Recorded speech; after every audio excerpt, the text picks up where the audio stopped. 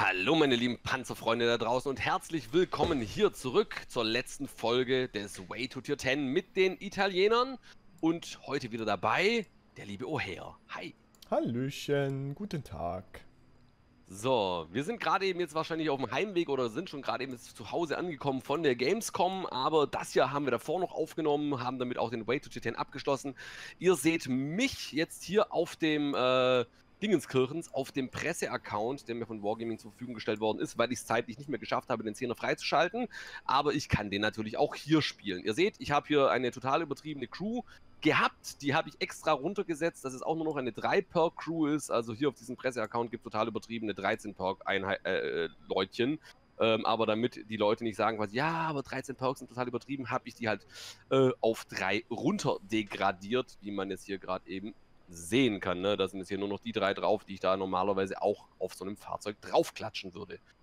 Oh ja, du hast schon mal ein bisschen geguckt. Was kann denn der Zehner? Um, er hat eine Granate mehr.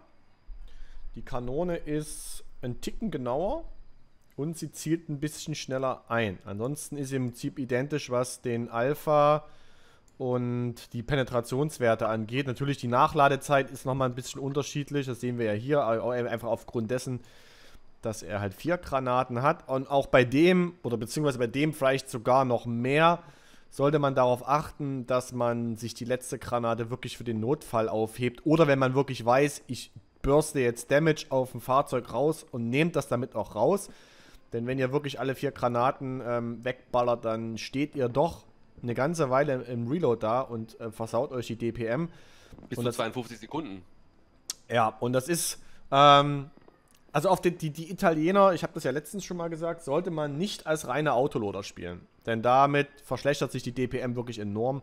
Man muss halt immer gucken, dass man ähm, so eine Mischung aus Einzelschuss und Autoloader macht und halt die letzte Granate wirklich nur nutzt, wenn man jetzt weiß, ich kann jetzt hier sicher Schaden farmen und das bringt mir jetzt auf jeden Fall gerade viel. Ja. Richtig. Wenn man sich halt mal überlegt, ne, ich habe es extra kurz mal ausgerechnet, diese 52 Sekunden, die du halt hast, wenn du dich komplett entleerst, das ist halt deutlich länger als zum Beispiel jetzt so ein französischer Medium-Panzer mit äh, einer ähnlichen Kanone machen würde. Also ja, die Batchet, ne? Ich meine, die Batchet hat wie viele Granaten? Ja. Fünf? Fünf hat einen 390er Alpha und hat, glaube ich, auch so 50 Sekunden Nachladezeit, ne? Also das ist, äh, da merkst du halt einfach, dass das hier wirklich eigentlich, die letzten zwei Granaten sind eigentlich Notfallgranaten, könnte man sagen, wenn du halt sagst, den nehme ich jetzt raus, der muss raus. Ja. Ansonsten sollte man nur, weil jetzt jemand da quasi offen ist, ohne Not, da nicht wie blöde ballern. Was auch anders ist, er hat einen Grad Gun Depression weniger. Das finde ich ein bisschen so ein Wermutstropfen, aber wir müssen mal schauen, weniger? wie sehr sich das Ganze aus. Der hat ja, der andere hat 10. Der andere hat 10. Schau, B hatte 10? Ja, ah, der hatte 10.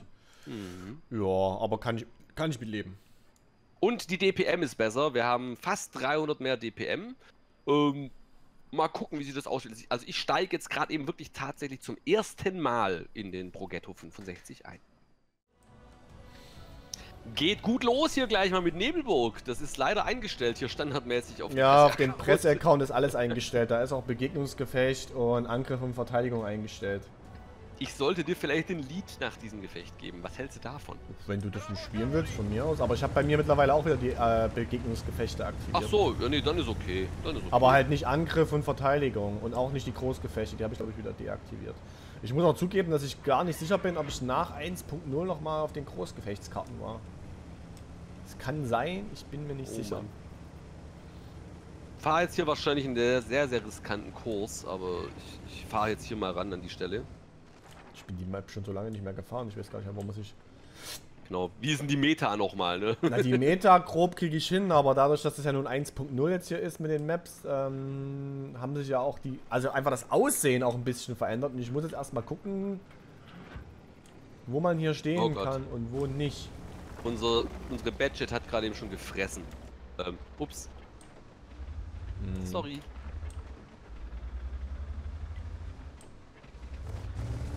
Ich habe den gar nicht gesehen, muss ich zugeben. Hast du einen eigenen angeschossen? Nein, geschoben. Achso. Bin da gefahren, die Grille ist von mir stehen geblieben und ich habe sie gar nicht gesehen. Ich bin offen. Bin tatsächlich offen. Au, erster Treffer, Amorek. Ja, das... ich bin schon so gut wie Toto, ja.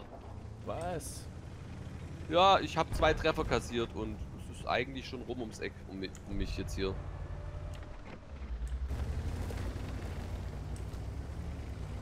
Kann Da jetzt schon nicht mehr wieder so ein wagen. 268,4. Oh Mann, ey.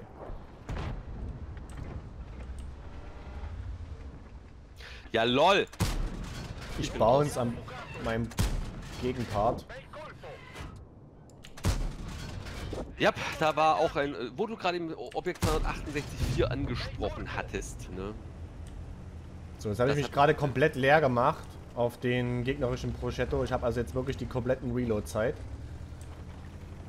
Das dauert jetzt eine Weile.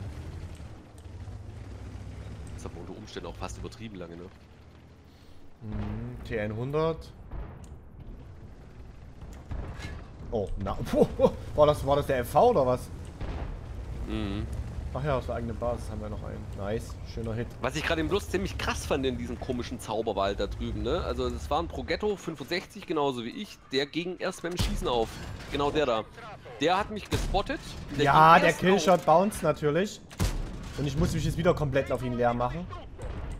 Der ging erst auf, nachdem er auf mich geschossen hat. Ich hatte keine Chance, den irgendwie vorher zu finden. Ich muss mich jetzt hier mal zurückziehen, weil die sind da schon hart auf die... Da steht... Obwohl der Jagd eh steht, glaube ich, so, dass der mich auch nicht spotten kann.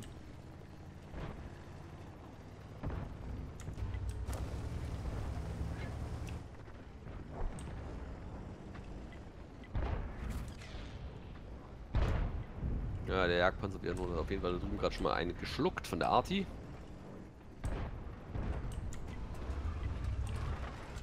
Kriegt ihr den aus der Mitte raus? Ich weiß es nicht, ich bin ja tot. Ach, du bist schon tot, ja. Okay, Wie schön. gesagt, Objekt 268.4 hat mir den finalen Stoß versetzt.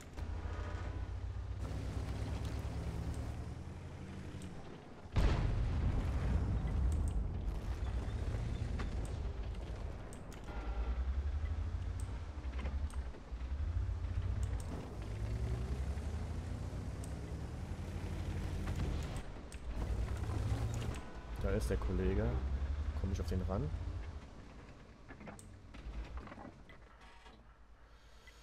Nee, da ist ein Stein im Weg, an den komme ich gar nicht. Na super.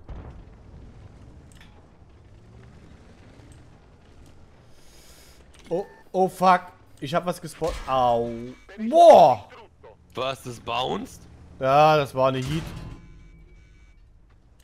Die Ketten die- gegangen. STB1 ist da auch noch.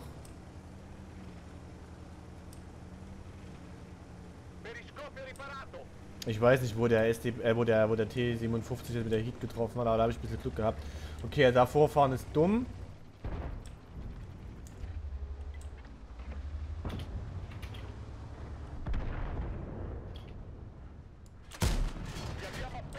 Hier ist 7 holt und dann machst du halt einfach gar nichts.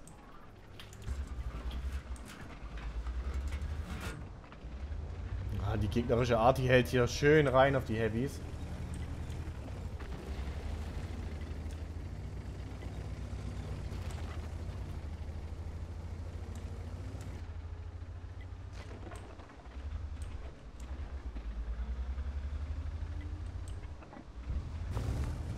Da nichts gespottet. Jetzt kommt der nächste, der Proxy rangefahren.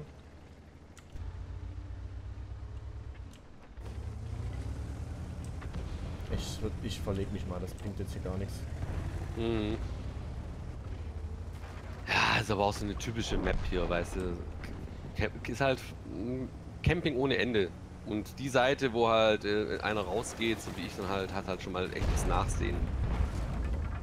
Du siehst jetzt halt auch schon, ne? Wir haben jetzt schon äh, 14% weniger als der Gegner. Guck mal auf die Hit. Ja, krass. Also das Ding ist eigentlich jetzt schon gegessen. Das ist schon vorbei, ja. Das ist vorbei.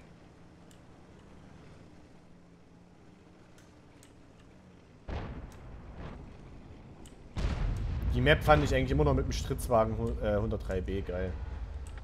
Ja, halt, halt, das ist halt perfekt für ihn, weil der ist ja so ein Camperfahrzeug, weißt du? Also für Ja. also Camper haben wir, glaube ich, echt ihre Freude. Na, ich habe da gerade eine Outline gehabt noch. Ein Problem ist halt echt auf der Map, ich fahre die halt einfach so selten, weil Ja, ich sie ja, halt ich auch auch. deaktiviert habe, dass ich halt überhaupt nicht mehr weiß, wie weit ich da in diesen Wald fahren darf. Manche werden wahrscheinlich jetzt auch sagen, du fährst da gar nicht rein. Und wahrscheinlich stimmt's auch.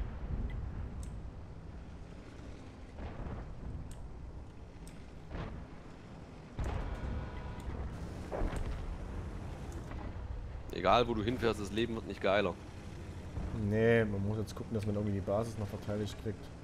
27 zu 42 Prozent der Hitpoints. Ist- Mhm. 12 zu 17. Fünf Fahrzeuge mehr. Und wir sind schon an dem Punkt, dass man schon fast sagen kann, die Hälfte von dem, was übrig ist, ist Arti.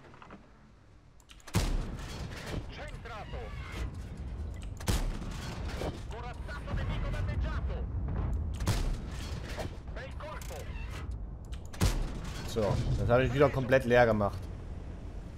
Ja, das heißt, du bist jetzt hier erstmal wieder 52 Sekunden wehrlos. Ja.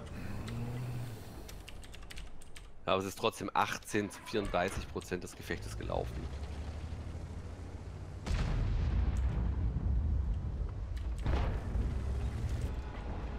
Doch, das ist ein scheiß Objekt, da schieße ich nicht drauf. Das müsste halt die Seite zeigen, ne? Ja. Tut's nicht, tut's nicht. Die Arti dürfte es getroffen haben.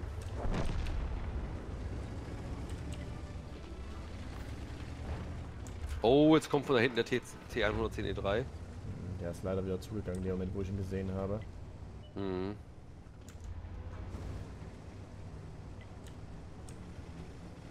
Kommt jetzt auch sehr. Eigentlich ist es jetzt total dumm, hier vorzufahren. Ja, fuck it.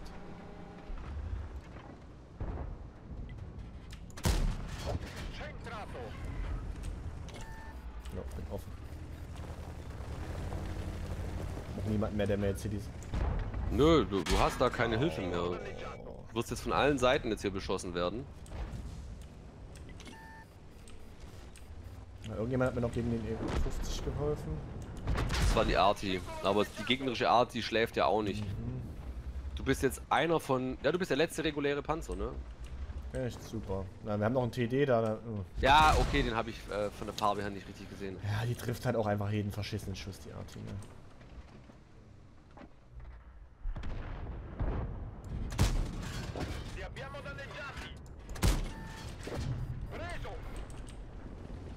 Den hast du noch gekriegt. Okay, in 100 komme ich nicht drauf. Es kommt denn dort ein Superkonga. Oh, fuck it. Mhm. Ja, von hinten ist es der E50 drin. Li abbiamo danneggiati! Ja, was willst du denn machen? Äh, finita, sagt er. Da machst du einfach nichts mehr bei so vielen Gegnern. Und dann kannst du nur noch gucken, dass du ein paar Granaten raushaust. Und das war's am Ende. Mhm. This was painful. 17 zu 30 ist aber auch ziemlich eindeutig. Ja, ist eine Klatsche, ja. Ich gebe dir dann mal den Lied. Ja. Muss ich denn da, muss ich da nichts einstellen?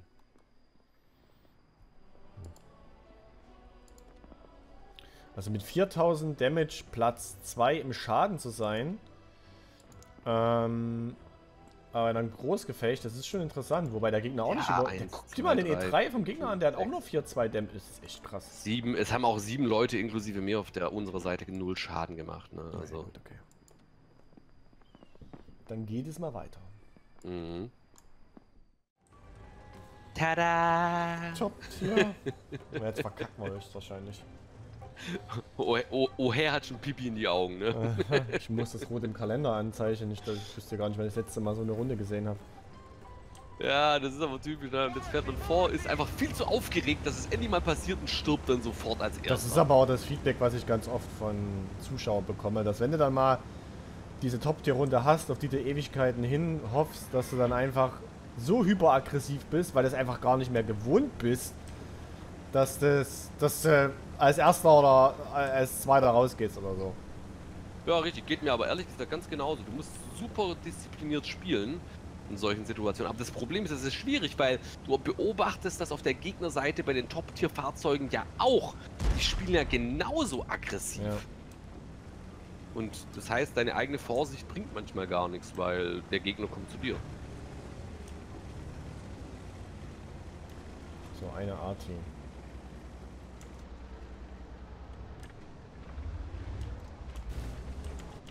So, gucken wir mal. Doch, Da das ist nämlich wirklich jetzt ernsthaft an der Progetto. Ja, weil der auch noch gucken will. Naja. Bauen sie. Ja, uns ja auch.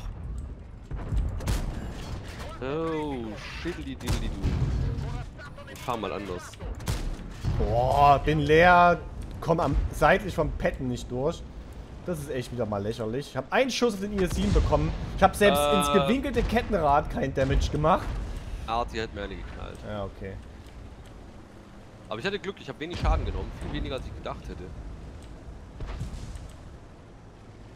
Aber das krasse finde ich, guck mal, aber das ist das, was ich meine. Der IS-7 ist jetzt auch schon auf der Gegnerseite so mega aggressiv durch.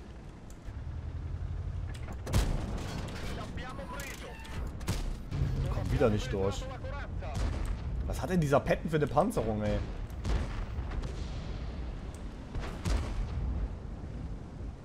Ich gehe mal in Reload, ne? Also, Nee, ich bin ich auch. nicht. Die letzte Granate muss ich jetzt nicht auch noch irgendwie versenken. Also ich habe schon ein paar Schüsse abgegeben, zweimal Schaden gemacht, ne? Ich auch zweimal Damage, ja. Der IS-7 könnte mal von der Arti rausgepusht werden. Ja, die Art, die hat schon ein paar Mal auf den geschossen, aber.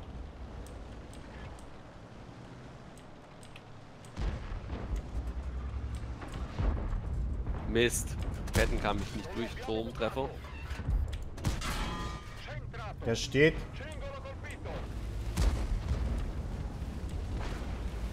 Ah, es fährt ihm in. Der fährt mir in den Weg, der Typ.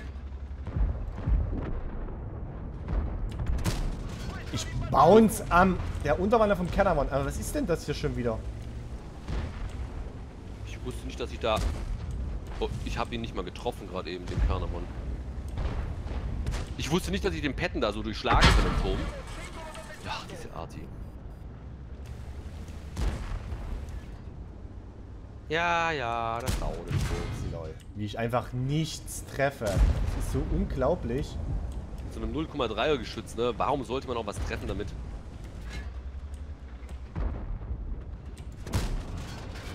Äh. Wer blockt mich denn hier? So, bin komplett leer wieder. Ich bin komplett voll, aber ich habe keine Ziele. Der Arti hat geschossen.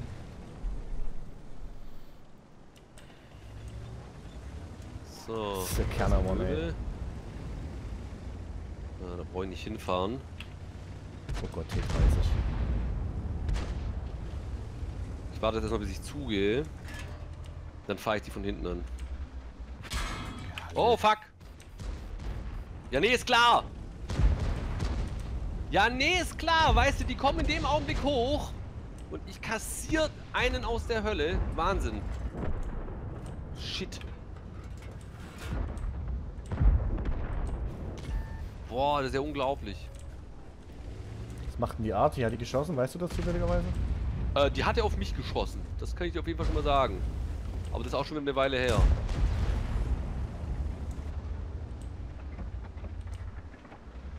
Oh Mann, jetzt komme ich wieder auf diesen Progetto nicht drauf. Der Löwe steht da holt down. Das ist echt ärgerlich. So, der ist jetzt hier abgehauen. Ich habe jetzt auf dem Progetto ein bisschen Support bekommen. Äh, wie steht denn der da unten? Oh, fuck my life. Das darf nicht wahr sein! LOL. Ich komme an der... Ich komme am Löwe hol down durch. Was habe ich denn da für einen Luckshot gelandet? Boah. Oh oh. Oh oh. Ich komme. FV nimmt mich raus, die Arti nimmt mich raus. Oh Mann.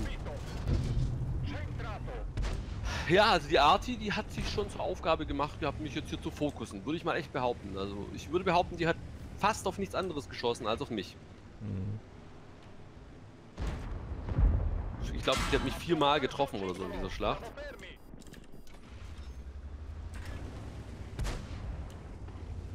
So, was kannst du noch machen? Oh fuck. Ja. Den hast du auch übersehen, ne? Na, war der dort schon mal offen? Ich weiß es nicht. Nee, der war dort noch nicht offen. Wieso steht ein T28 dort, bitteschön?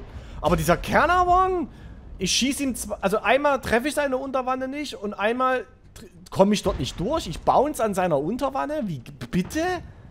Ich habe seine Unterwanne nicht getroffen gehabt einmal, obwohl ich mir das auch nicht erklären kann. Und, im- und im Gegenzug schieße ich einem Löwe, der Hull down steht, neben der Kanone durch den Turm? Du, ich habe Bitte? dasselbe mit dem Petten. Ich habe das mit dem Zehner-Petten gemacht. Ja, auf den Petten habe ich drei oder viermal geschossen und nicht einmal Damage gemacht auf den. Ich bin an, ich habe nur seinen Turm gesehen, habe kurz mal so links neben die Kanone gezielt, habe geschossen und der war weg. Nö, Hat mich auch gewundert. Eigentlich sollte das nicht passieren, meiner komische Meinung Sachen in dieser Runde hier. nach. Mhm. Also ich hab... Der Cannavon hat den meisten Schaden auf mich gemacht. Ja, bei mir war es, ich würde mal behaupten, der Progetto, der halt jedes Mal kam wie, also der hat mich jedes Mal zum falschen Zeitpunkt erwischt. Aber wirklich jedes Mal. Und dann war er noch von der Arti unterstützt und das war mein Ende. Also an für sich war es ganz nett, aber man hätte hier aus der Runde deutlich mehr rausholen können. Ja, also ich habe jetzt zwei, drei Schaden rausgeholt. Das ist okay. Würde ich jetzt mal sagen. Es ist okay. Aber mehr auch nicht. Wir gewinnen. Ja. Deutlich sogar. Ich fand es halt auch so krass, wie aggressiv die da noch hochgepusht sind, ähm, wo ich dann raufgegangen bin. Ne? Also ich meine, das machst du normalerweise nicht, wenn du schon so dermaßen hinten dran bist. Hm. Das ist ja Quatsch eigentlich, aber wahrscheinlich haben die versucht, für die Arti aufzuklären. Wobei ich das irgendwie nicht glaube, dann wären sie ja nicht dabei draufgegangen. Zirp, zirp. Ja, zumal, wenn der wirklich der T28 schon die ganze Zeit da hinten mitsteht, warum ähm, lassen sie die nicht einfach kommen? Keine Ahnung. Naja. Na komm, dann. Auf ein neues.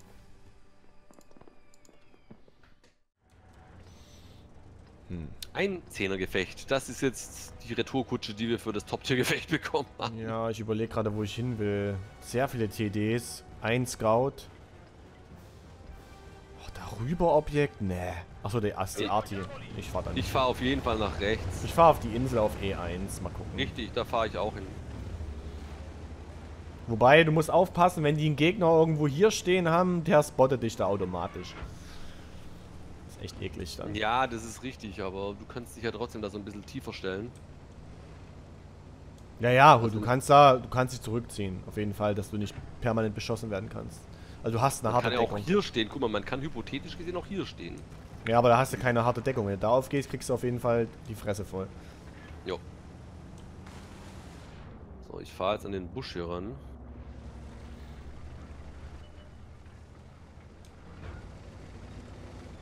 So, ich bin jetzt geladen und entsichert und sehe nichts. Na, warten wir mal ab, was passiert. Also bis zur, Mhm. bis zur TD-Camperei hinten spottest du hier nicht. Die müssen also irgendwie kommen. Beziehungsweise du brauchst eigentlich jemanden, der an die Häuser ranfährt. Nur, ähm, naja, ist halt, das ist gewagt. Definitiv. Oh, es kommen schon Blindschüsse. Wir sind auch eine ganze Menge Fahrzeuge hier. Das Objekt fährt jetzt spotten, das ist gut. Und der. Oh, warte mal, da, da, da, da, da.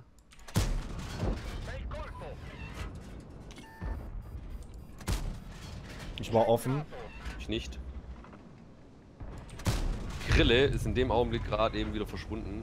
Ach nee, die ist einfach noch weiter nach hinten gefahren. Ja, aber ich habe ihn getrackt gehabt kurz, aber leider hat keiner außer mir dann nochmal nachgeschossen. Oh, der E4 aufs Objekt Type 5. Ja, da komme ich nicht durch. Die Maus! Da campt eine Maus! LOL! Momente des Wahnsinns. Also jetzt mal ernsthaft, eine Maus? Auf den FV komme ich nicht. Kommst du auf den FV? Ich komme drauf, aber ich habe nur den Turm gesehen. sag Bescheid, wenn ich den Weg fahre. Ja, das ist gerade passiert. Warte mal, da, da kommt wieder der raus.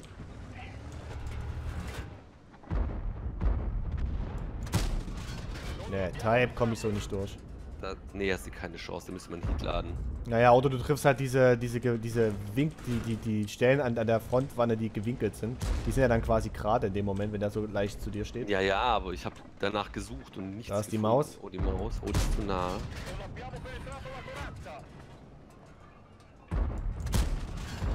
Komm nicht durch, ich treffe die Unterwanne nicht. Einmal habe ich sie getroffen. Ich lade Zieht. Ja, mache ich jetzt auch. Habe ich eigentlich mit den Italienern weitgehend vermieden gehabt. Oh, oh, guck mal, was da, was da kommt. Scout. Schön. Hey, hey, hey, hey, hey. Komm mit Heat nicht durch. Tatsache, ich auch nicht. Wie viel hat denn der mit Heat? Der hat doch gar nicht Bin so offen. wenig. 330. 330, ja, ja. Das müsste eigentlich reichen. Wow. Irgendwas hat gerade den Typ 5 schwer hart getroffen. Ähm. Kann schon sagen.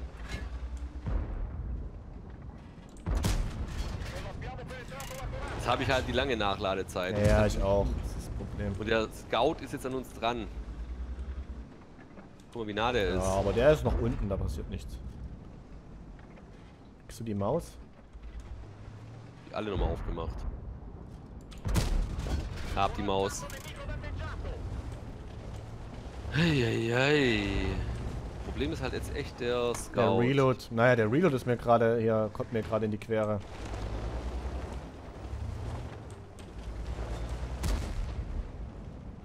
Ja, ich spotte das jetzt halt. Also die Tarnung ist gut auf dem Ding.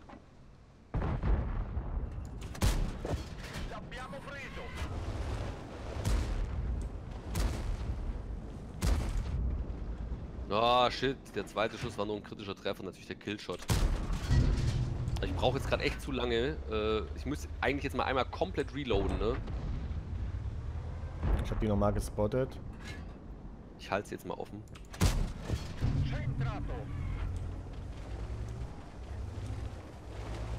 Na, jetzt kommt Uff. der E4 uns extrem nahe. Das ist ein Problem. Abhauen, oh Herr, abhauen. Der drückt auf uns drauf. Ja, wir haben Support von dem, der ist raus. Okay. Sehr gut. So, jetzt bin ich auch wieder komplett nachgeladen. Bin jetzt trotzdem äh, hinten.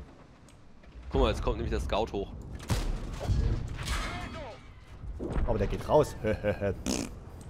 so, jetzt ist nur noch der Type, der da hinten steht. Und natürlich die FVs, wo wir nicht wissen, wo sie sind. Ja, dann komme ich wieder vor. Bin jetzt auch wieder voll. Ja, mittlerweile bin ich auch wieder voll.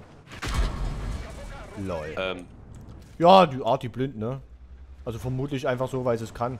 Weil sie denkt, hier stehen eh noch alle rum.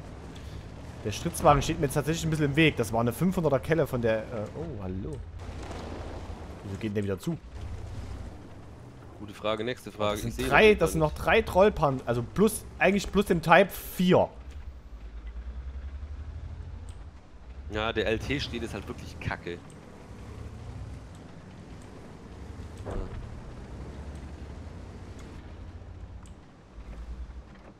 Da, ich habe da irgendwas gesehen, glaube ich. Schön. Okay, der ist raus. Ich bin jetzt mal irrsinnig. Ja, ich auch. Äh, da kann man ja gar nicht. Nee, hoch, haha.